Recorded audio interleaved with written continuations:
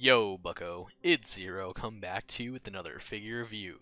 Today we have another figure from the Ghost Crew. Well, kind of. This is Star Wars Black Series Ahsoka Tano from the Rebels line. Yep. Um, now we're busting this out during Mando week because she just appeared in Mandalorian and they haven't made a figure of her yet for Mandalorian. I am 100% sure they will because Hasbro likes money, and honestly, I'm okay with any Ahsoka figure we got. She, I'm surprised we have not gotten any Ahsoka figures besides her and this Clone Wars Ahsoka until now, but they want to start making the Ahsokas.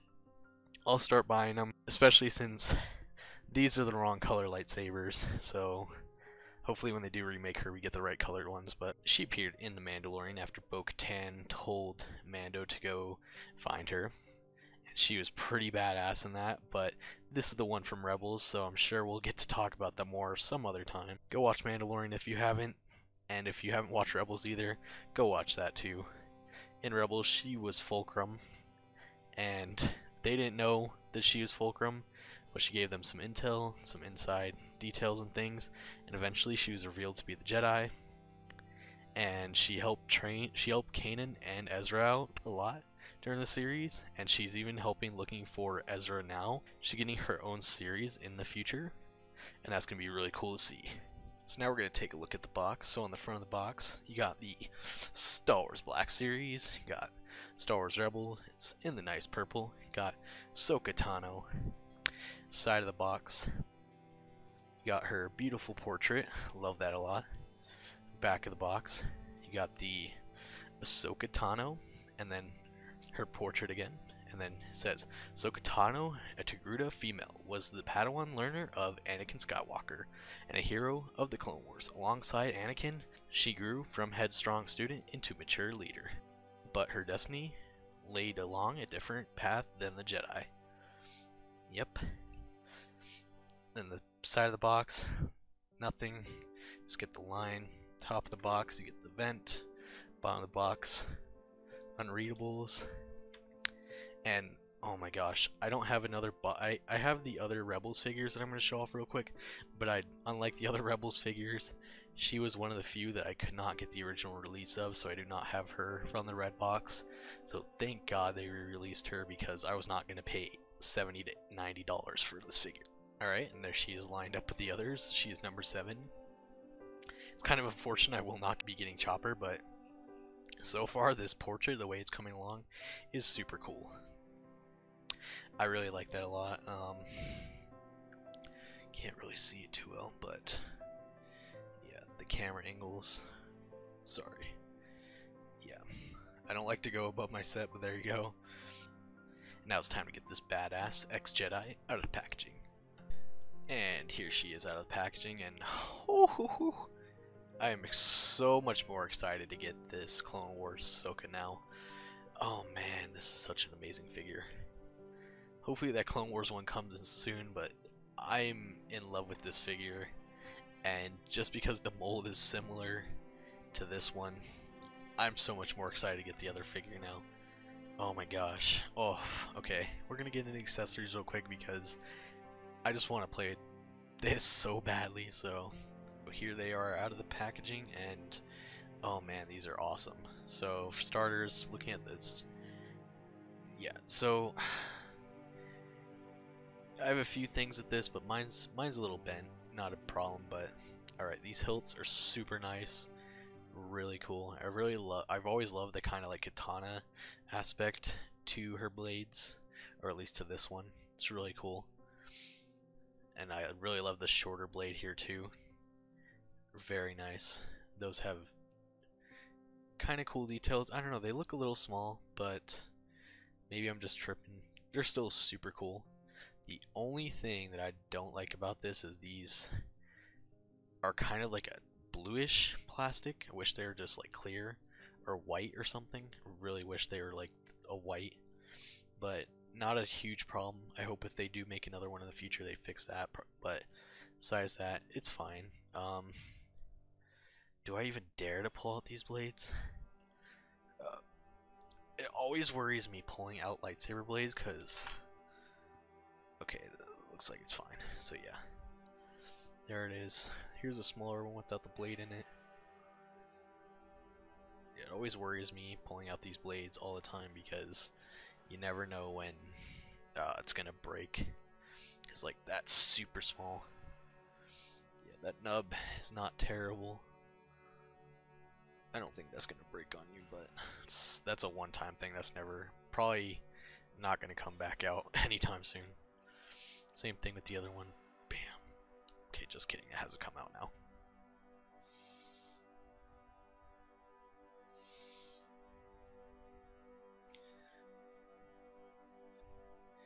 Very cool sculpt. I think my favorite part about the sabers is that um, she took the crystals from the Inquisitors and the Inquisitors' red lightsabers. They made the lightsaber crystal bleed, and so she kind of like restored it, and they turned to like a white. I really always like that aspect of that. I thought that was cool. The really cool part is these also store. I mean, it's a little awkward looking on the belt here, but they get stored on the. You can store the hilts on the belt here.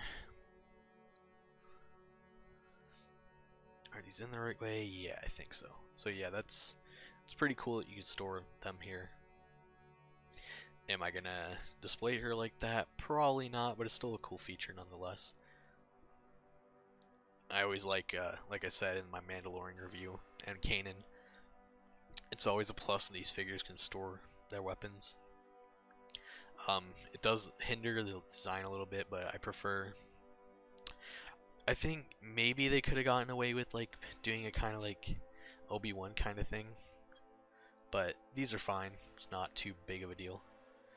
But yeah, we're gonna go ahead and get into this figure now though, because I'm already here.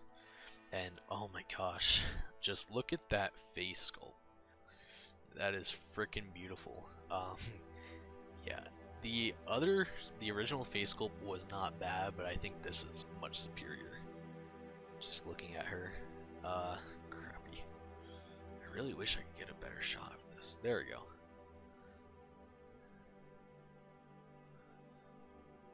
Much superior face sculpt with that 3D printing, especially the white lines. It helps a ton because a lot of those are misaligned on the other figure. Um, I wish I had the other figure to compare, but I really didn't want to spend a ton of money. But yeah, that the face sculpt definitely makes a world of difference. 3D printing. Now just looking at other parts of her, yeah, I love the orange skin tone.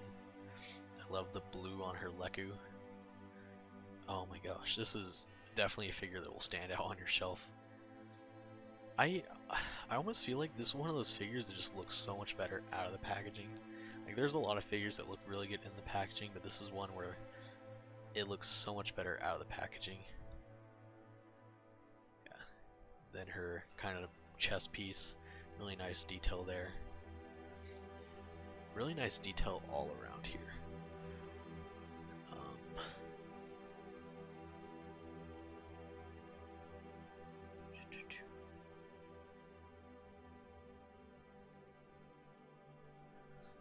Think on mine the paint might be a little tiny bit off, but that's okay.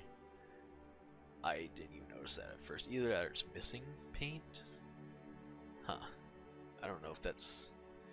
It almost looks like it's intentional, but not at the same time because it's missing paint here. Uh...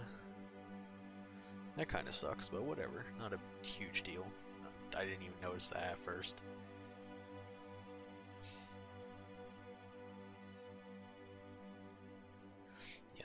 Very beautiful.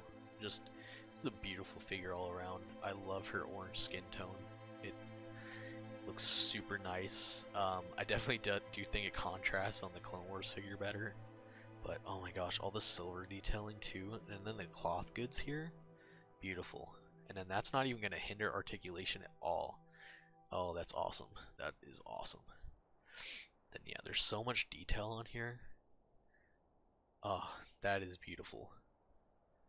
Sorry, I've been waiting since I started collecting to get this figure, basically. The boots have nice detail, too. Just, oh my gosh. I don't think there's a part of this figure that isn't amazing looking. Jeez, this is a dope figure.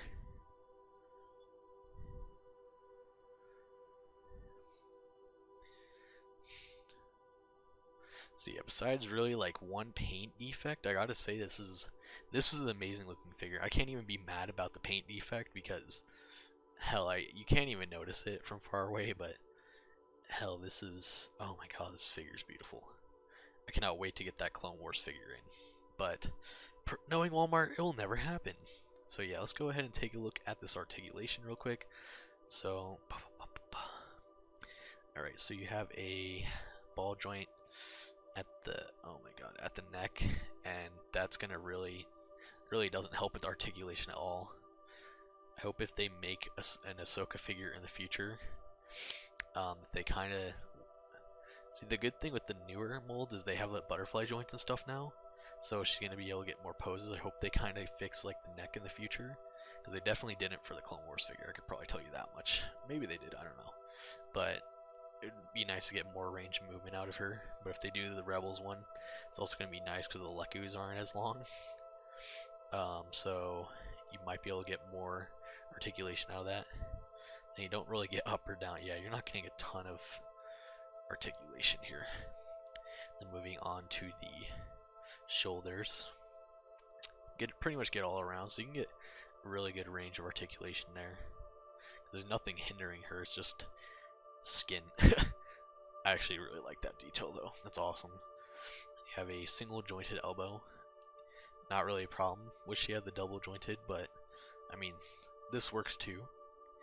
Because, yeah.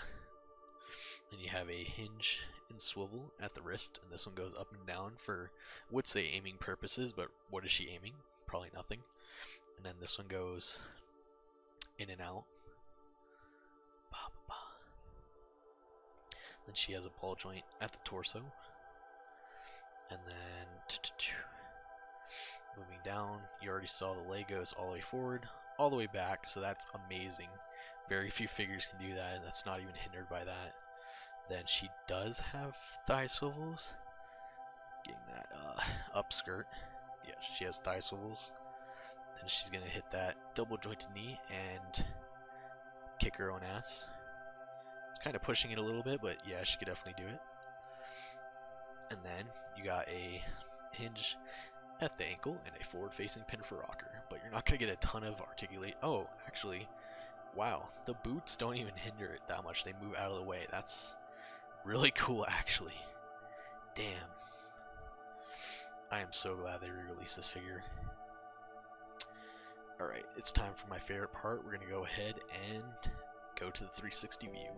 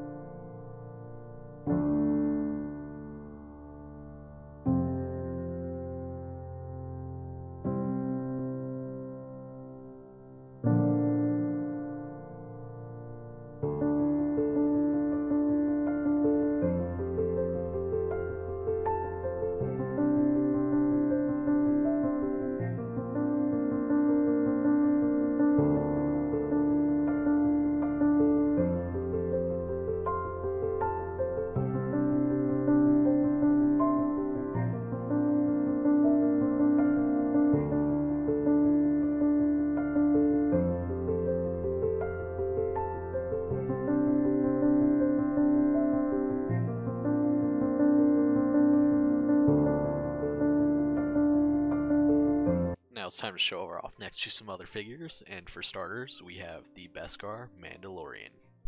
And now we have the Rebels crew that I have open. We have Hera, Chopper, Kanan, and Sabine.